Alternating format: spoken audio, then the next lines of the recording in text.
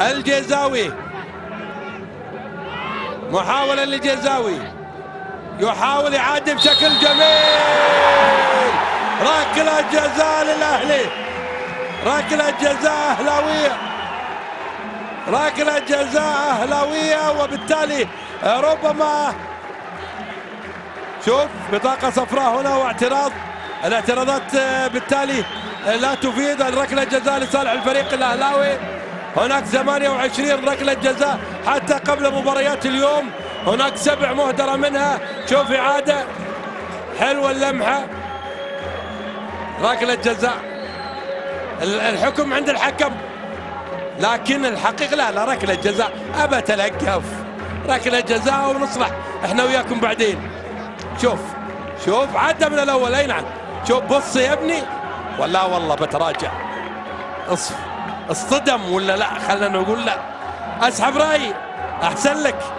مع إني اخذت فرصة في المتابعه والبطيء. يعني بالتالي قرار الحكم يعود للمحة مباشرة. الأولى اللي ما احتسبها قلنا إنها ركلة جزاء لأنها كانت واضحة.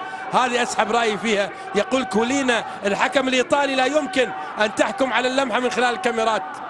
أعطيني رأيك في نفس اللحظة. ركلة جزاء عموما للفريق الأهلاوي. وعموما ركلات الجزاء يختلف الحكام عليها. يجي عشرة خمسة يقولون نعم خمسة يقولون لا. الأهلي يحصل على ركلة جزاء. اللي بينفذها يجي يعني يجيبها جول بالنسبة للأهلاويين.